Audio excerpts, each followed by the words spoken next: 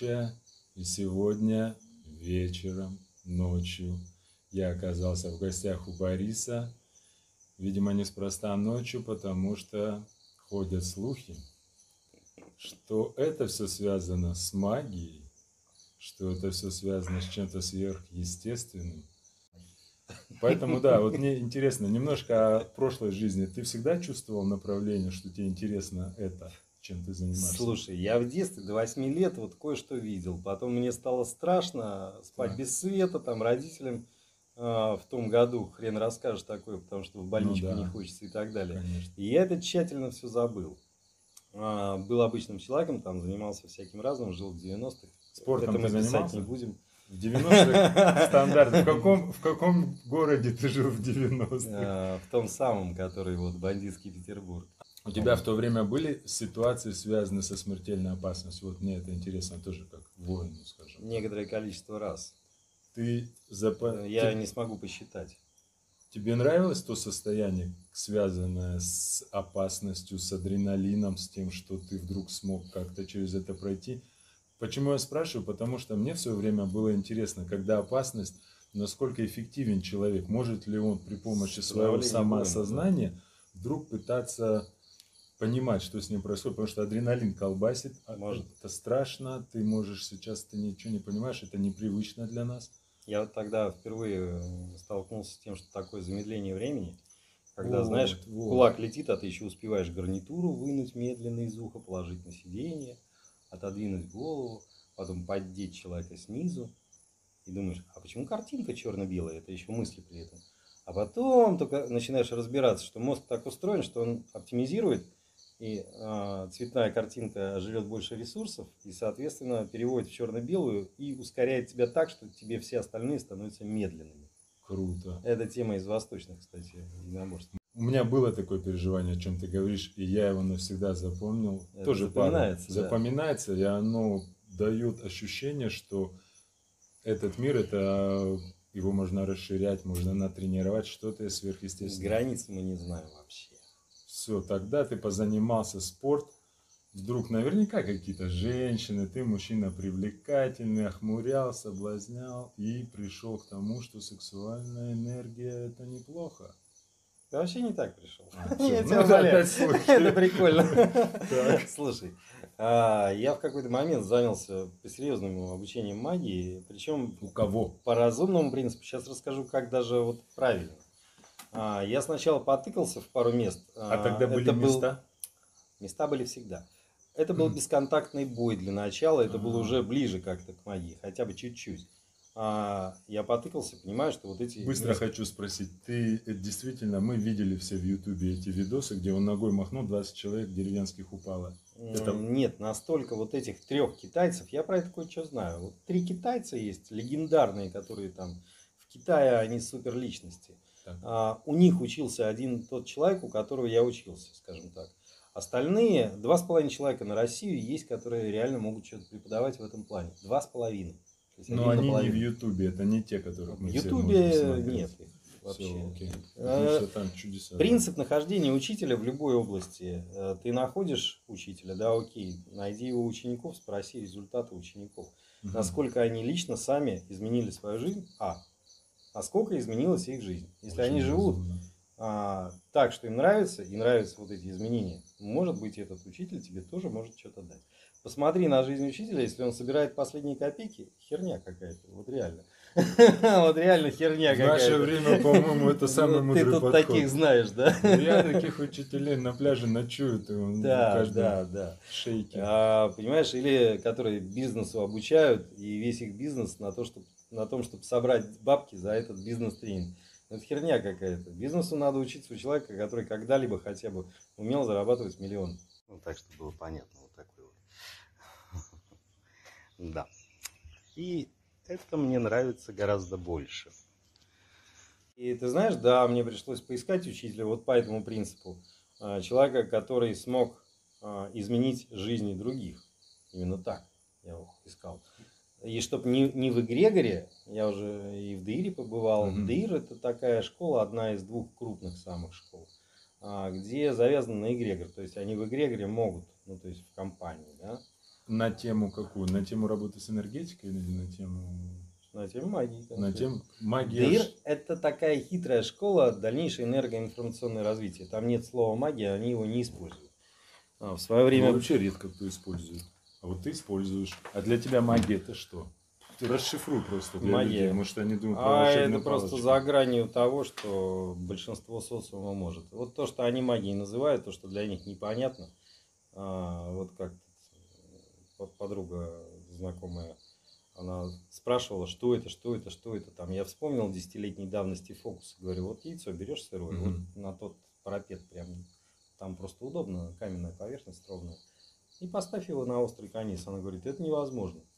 Я говорю, да, с точки зрения законов физики это совершенно невозможно. Поэтому этот раздел уже магия. Она такая, Мгм. как? Я говорю, ну берешь поток энергии, надо крутануть и проткнуть его как шилом э, вместе с этой поверхностью гранитной. А, вот прям насквозь. И тогда оно будет стоять.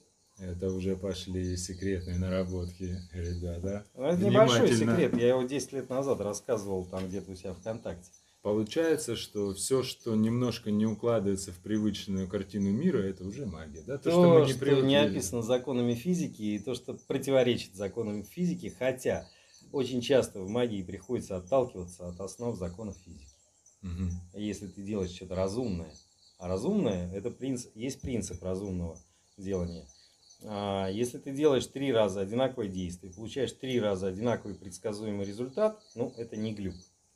Если три раза все результаты разные, это батенька глюка, это надо признать и откинуть просто. Есть таблетки, специальные доктора. для Нет, этого. просто это надо откинуть как бы и пойти по пути наименьших глюков. И самый лучший способ это научный подход, то есть статистика.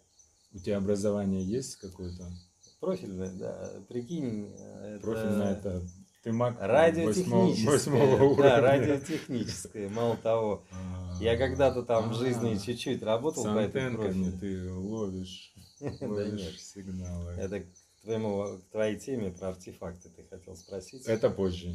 Да, окей. Но Хорошо. радиотехническое есть, и я вдруг обнаружил, что оно мне однажды пригодилось, прикинь. В артефактах. Да. Это- Но тогда там было уже- все против э, законов тех, которые я когда-то изучал. Давай тогда про артефакты. Я видел артефакты. Это не секрет, что я был пару раз стилистом Бориса, и он мне показывал нереально красивые вещи, которые он сделал своими руками. Эти вещи из металла, из камней. Слушай, я тебе принесу сейчас злобный артефакт.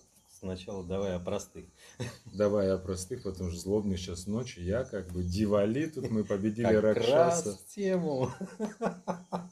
Как ты понял, что ты руками можешь что-то делать очень хорошо и красиво? Э, Потому что я вижу все, что на тебе, вот э, Я могу большой. технически объяснить очень понятно. Смотри. А, руки, да, есть точки энергетические, выходы. Вот Окей. они, вот они.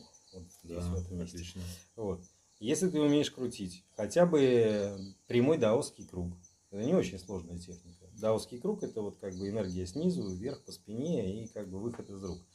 Этим занимается большинство целителей, кто руками лечит, экстрасенсов. Экстрасенс разворачивает круг и сканирует, как бы принимая в эту точку. А ты выдаешь. Вот ты взял какой-нибудь предмет с камнем, очень Класс. хорошо. Очень красиво. Вот поставил его вот сюда, а, настроился на определенную энергию. Только не надо лоховским образом делать, настраиваться хер знает на что. Чем больше срач в вашей голове, тем больше срач будет записан в этом камне. То есть надо одну мысль, одну мыслеформу, одну энергию держать и записывать. Ну, есть секреты, как записывать. В общем-то, я этому обучаю тоже. Всё, это, если руками. Окей. А есть э, способ, руками ты можешь держать, ну, максимум там 20-30 минут одну мыслеформу, это предел, вот больше не удержишь. Мгм. Потому что сложно, голова гулять начинает. А чем тогда удержать? Машиной.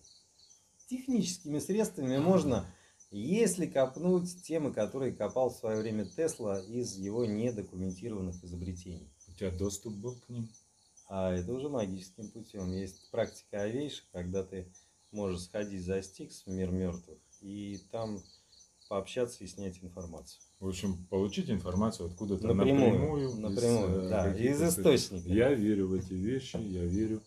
Поэтому с артефактами ты узнавал напрямую, изготавливал, у тебя это работает. И ты в Но это Меня чётко- удивило сначала.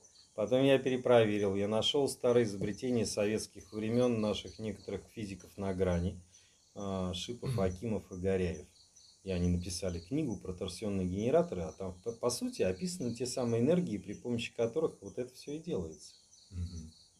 И они тогда еще создали то, что сейчас наука стандартная отрицает, а у них еще тогда это работало, и они даже прибор сделали, который может это регистрировать, это излучение.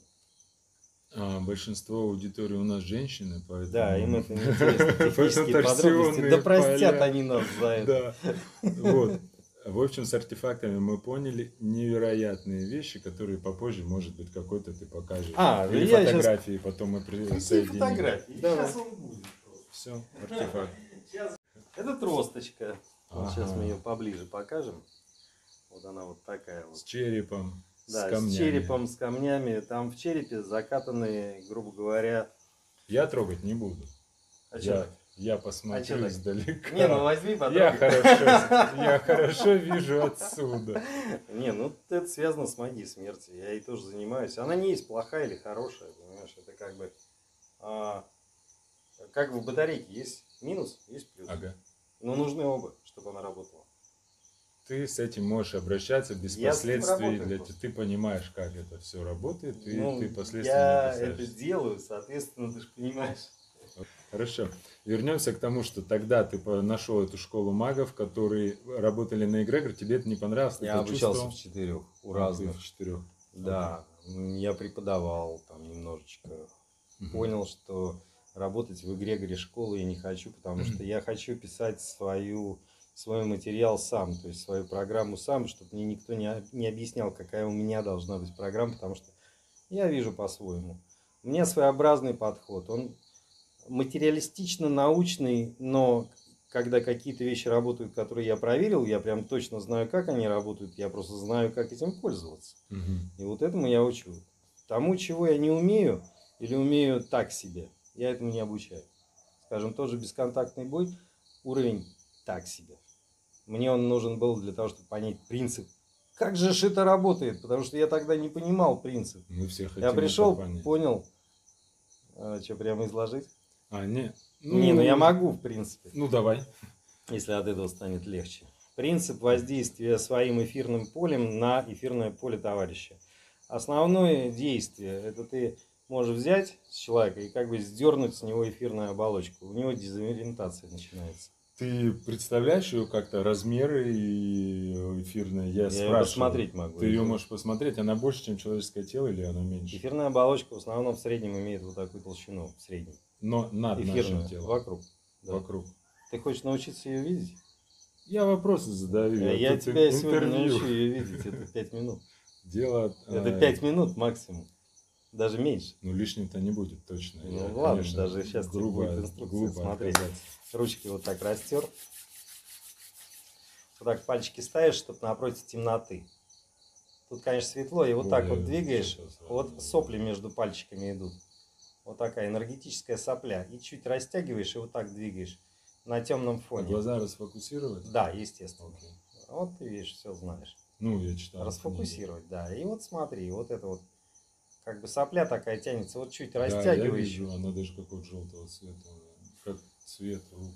Да, вот смотри, следующий эпизод. Прям не выходя из этого состояния, вот моя башка на темном фоне где-нибудь. И смотри вокруг Через нее. руки? Не, пофиг, руки уже не нужны. Прям вокруг нее. Ну, как будто измененная, размытая. Вот, белесая оболочка такое, возникает. Ну, Вот я думаю, это способ. обычные галлюцинации, а это А ты проверь по все. Вот, галлюцинации проверяются вот этим движением и смотришь, от пальца к пальцу тянется или нет, когда уже на 5 сантиметрах. Окей. А тогда смотри, эфирное поле и энергетическое. Просто чаще говорят про энергетическое поле. Это одно и то же или это разные вещи? Эфирное, астральное, ментальное. Они разные. Ну вот кокон твой, грубо говоря, вот тут мой кончается, ты сидишь, грубо говоря, в Я в нем. твоем коконе? Да, примерно. Ну, приблизительно. А мой Тебя- где заканчивается? Тебя прям под видео научить нащупывать, где твой заканчивается?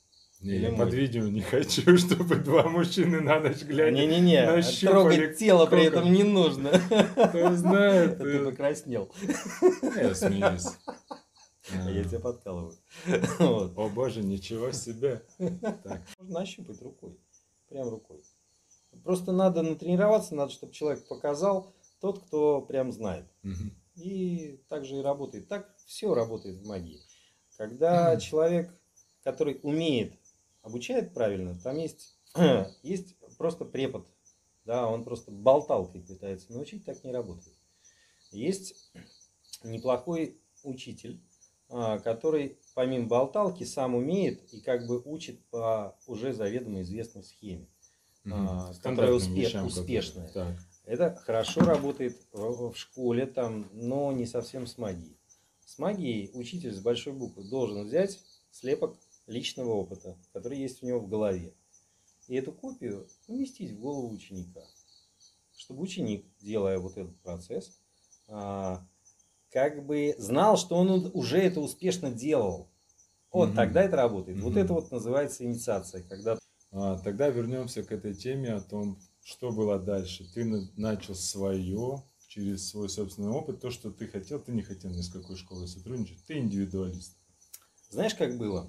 А, в какой-то момент приходит знакомая девочка, говорит, слушай, мы тут а, обучались у Андара Вселенная, а, человек, кстати, здешний, когда-то он тут даже Да, что-то преподавал. Да, да, Говорит, он да. классный, он отличный, а, там есть пара минусов, а, но в целом он вот то, что должен был сделать, он сделал, открыл на хату. Он, кстати, это сделал. Ей. А, им, не только Или ей, а была. им, да. Окей. А, он на своем уровне прямо сделал это. Они говорят, ну у нас проблемы, мы хотим дальше, а он ничего не может предложить. Говорит, собери нас и дай нам то, что ты умеешь. Вот так началось обучение. Так, у меня сразу... А, так ты начал преподавать благодаря... Да. И что ты им дал дальше, в двух словах? Есть дальше путь? Открылась у нее нахата, у них... Они всех любят, они испытывают состояние благодарности, да, или что? Классно, но это А потом все что же хотят Денег. денег. Они не А. понимают, что им не деньги нужны, а им нужны деньги для того, чтобы. О. Но это никто не понимает, не хочет понимать. Но все хотят денег сверх возможностей.